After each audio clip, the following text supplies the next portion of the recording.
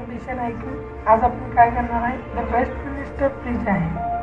Waste minister bridge आहे. त्यामध्ये जे काही ओक्याब बांधलेलं आहे त्याबद्दलची माहिती आपण आज या पाठामध्ये घेणार आहोत. तर लक्षपूर्वक काळजीपूर्वक सर्व शब्द लक्षात ठेवा. अर्थ. अर्थची स्पेलिंग चुकलेली आहे. चेक करा.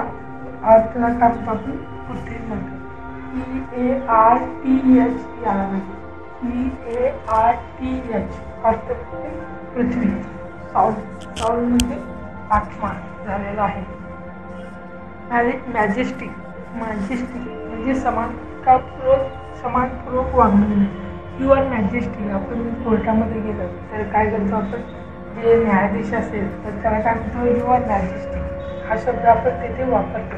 परंतु आपल्या भारतामध्ये ते बॅन करण्यात आलेले आहे. कारण आपल्या संविधानामध्ये असं को कोणाही व्यक्तीला वर किंवा एखादी पदवी देणे हे चुकीचं आहे असं म्हणलेलं आहे. इंग्लंड असेल किंवा अदर कंट्रीज असेल त्या त्यामध्ये तिथे मॅजेस्टी हा शब्द अजूनही चालू आहे. पण भारतामध्ये कंपल्सरी नाही आहे. गारमेंटमध्ये कपडे शिवण्याचे दुकान. वेअर वेअर म्हणजे ओढणी. वेअर मीन्स ओढणे किंवा घालणे फ़ील्ड म्हणजे हा देखील शब्द झालेला आहे स्मोकलेस म्हणजे स्मोकलेस म्हणजे धुके नसलेला। आपण बघतो, थंडी मोठ्या धुके पडलं स्मोक त्याला स्मोक म्हणतो. स्मोक पण म्हणतो, तर धूर नसलेला, धूर विरहित. असाही उल्लेख आपण करू शकतो. धुके नसलेला किंवा धूर विरहित. व्हॅले व्हॅली म्हणजे काय? असेल घाट असेल आपल्याकडे खूप साऱ्या अशा दरी आहेत घाट आहेत आंबा घाट असेल. हे खूप सारे काय आहेत व्हॅली आहे. किंवा केरळमध्ये गेला तर तिथे काय आहे? सायलेंट व्हॅली आहे. शांत अशी घाट आहे आणि जर उत्तराखंडमध्ये गेला तर तिथे काय आहे? फुलोकी घाटी आहे. म्हणजे फ्लॉवर्स व्हॅली आहे. तर घाट असे म्हणतो रॉक म्हणजे ना दगड.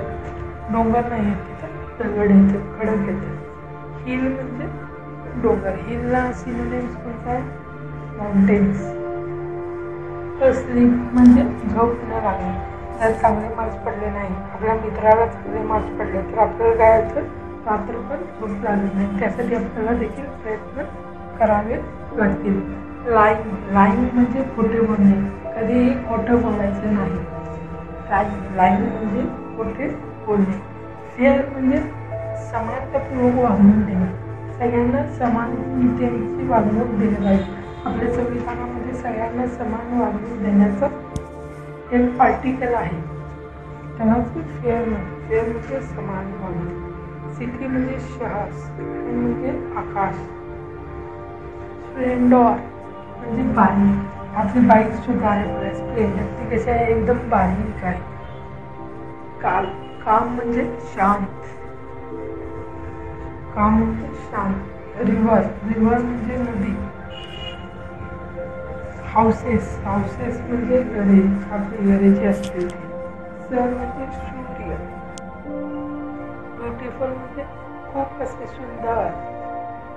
हर्ट हर्ट म्हणजे हृदय. खूप सगळ्यांना हे वोकॅब्युलरी कळाले असतील. वोकॅब्युलरी टू पुन्हा मी सांगत आहे. वोकॅब्युलरी परफेक्ट करा. तर तुमच्याकडे डोक्यात वोकॅब्युलरी असेल तर कोणी तुम्हाला इंग्लिश बोलण्यास अडकवणार नाही. कोणी तुमच्याबरोबर उभे राहणार नाही जेव्हा तुम्ही इंग्लिश बोल बोलाल. त्यामुळे लक्ष येऊन सगळ्या गोष्टी करा. सगळ्या गोष्टी इझी आहेत. त्या इझिली होऊन जातील. तर लाईक करा शेअर करा सबस्क्राईब करा. आणि आपल्या मित्रांना देखील सांगा की ह्या चॅनलवर मोठ्या प्रमाणावर व्होकॅबलरी शिकवली जात आहे. आणि तुम्ही सबस्क्राईब करत नाही आहात सबस्क्राईब करा जेणेकरून आपली फॅमिली वाढेल. मला मोटिवेशनसुद्धा मिळेल की चांगले चांगले व्हिडिओज मी तुमच्यासाठी आणखी खूप प्रयत्न करून तयार करण्याचा प्रयत्न करीन. धन्यवाद.